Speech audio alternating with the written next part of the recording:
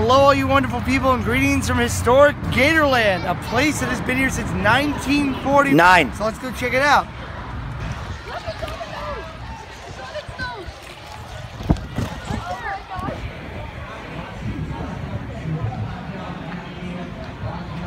Well, they got jokes here. They got jokes. Well, be jealous, Walt Disney. The first amusement ride in Central Florida was this here little train.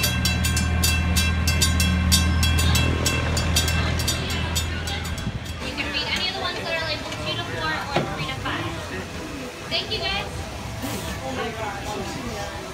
What was that? Wait a minute, you can feed? Yes, $5 for free fish. Anybody can do it. There you go. Five dollars and three fish. You can fish for gators. If you've ever seen Indiana Jones and the Temple of Doom, they did insert shots of the alligators when they fall off from the bridge. They got the Sankara stones. They fall in the water. Right here is where they shot the insert shots for them getting ripped apart. It's like you, you can tell Kelly in hell, and then just cut to this. Wow, movie magic. Check out that surfing bird right there. These gators are considered very rare. Apparently, there are only 12 left in existence. That might be an estimate. Do do do do do do do do do do do do do do do do. I'm only doing this once, so no one blocked anyone's view. Here we go.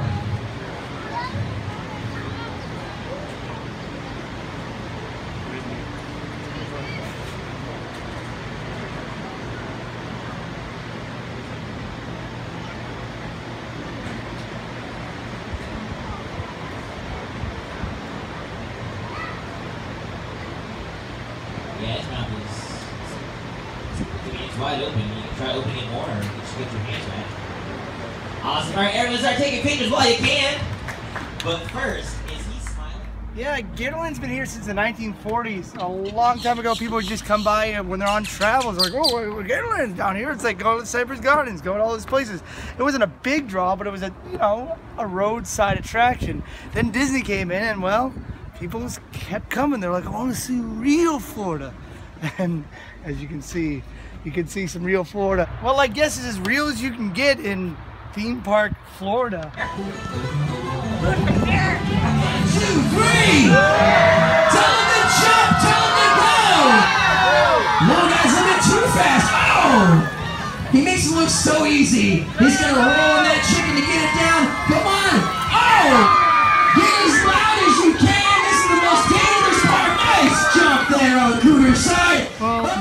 the alligator breathing march. They also have a zip line right over it. It looks like one of the zip liners has gotten stuck on the zip line and is currently over a giant marsh of alligator.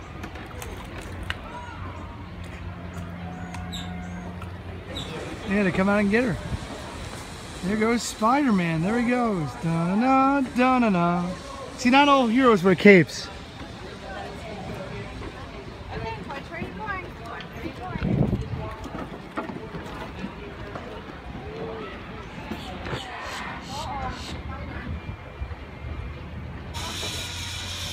My guy's going nuts up there. The real reason I wanted to come to Gatorland is to see this, the new attraction, the Gatorland Stomping Gator off-road adventure. I heard about it in the Orlando Sentinel all the way out in Japan. I know one of the guys who made it. Actually, if you watch one of my videos where I was working at a haunted house, you'll see that guy in it.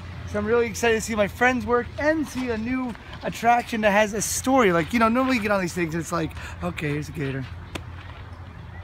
But apparently this is a story, so let's go see it. Welcome to Florida. Good day. I'm Russell Muggs, CEO of Gator Gardens. Gator Gardens is the realization of a lifelong dream to open an alligator park that directly competed with the world's greatest alligator park, Gatorland. And we're better to open that park than right in Gatorland's own backyard. My company acquired a, a garden tour that operated here. We've quietly driven out the great simple folks who ran that tour and turned the ride into a mind-numbing experience like you've never had. So, join us on our delightfully dreary tour of real Florida, featuring stereotypical cartoon critters from around the world. You ruined my ride, you potbelly. Start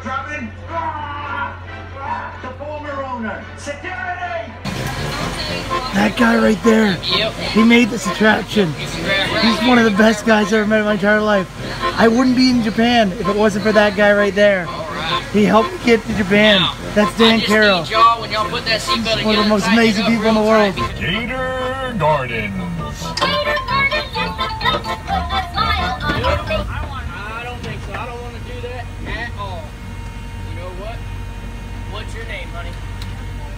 Brooklyn. That's an awesome name, Brooklyn. I got a real important question for you, Brooklyn. Do you want to go through these gates and listen to that weird stuff for eight more hours? The answer's no. No. No.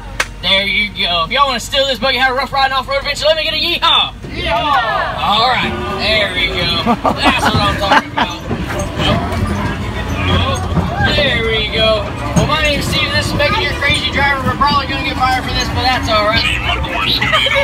Oh, that's because technically we just stole this buggy. Yeah, so we all accomplices now. So I'll blame Brooklyn. It's her idea. Oh man, security cameras in the middle of nowhere. Well, as my granny used to tell me, if you're gonna go to jail, you might as well go big. So just smile away, folks. Oh, hey, Swampy Sal, man, I'm happy to see you. Hang on to your oh. There's an R in that word, folks. A big one. Yep. Must be pointing the away. One me lay up the ways. We got it where that one tree was they cut down. That's a, that, that- I know why, folks. This here is hollow ground. You're coming up on the legendary alligator graveyard. Folks, when gators pass away in these parts, they're laid to rest right here. We have some famous ones like Bone Crusher, Cannibal Jake, and that mythical Swamp Ghost. Now, these are some of Gatorland's most famous residents. Eh, Oh, we just gonna be like my ex and get over it? Uh, oh, okay. Hang on. This is a swamp buggy, not a tree buggy, so this should be interesting. Oh, there we go. It's Sal's Gator Pond. That is amazing. Swampy Sal always said the best attraction in Florida is Florida itself. These gators truly prove that point. Now, he had a few attractions of his own, and business is all about location, location, location. It's probably not the best location for a dive shop or a sea-doo rental. Easy thing we're about to do, I just got to put on this seatbelt, and it's going to get real cattywampus. Hold on. I, hold on, I don't have my seatbelt on. Woo! Oh, man, that was close. Real close. We couldn't do that. We'd be DED dead. Cheese and sprinkles. Oh, man. All right. We got two more. Small for that camera up there, folks. We go up, then we go down, and we go up. It's a redneck roller coaster in the woods. Oh, man. And there we go. We have made it. Woo! That was crazy. Is that you, Swampy Sal? Did you hear the big news? Oh yeah, Brooklyn's going to jail for Grand Theft Auto. That Gator Gardens CEO has done been arrested. Hey, what do you know? Interest of this year's swamp buggy tours reverted back to the Swampy Sound. All right, folks, Swampy Sal's got his buggy back. Honey, you don't have to go to jail. That's really good. You're too cute for jail. I want to thank y'all for riding on Stomping Gator Off-Road It was a pretty good show. If only the person that like helped make it was here, that'd be amazing. That'd be incredible.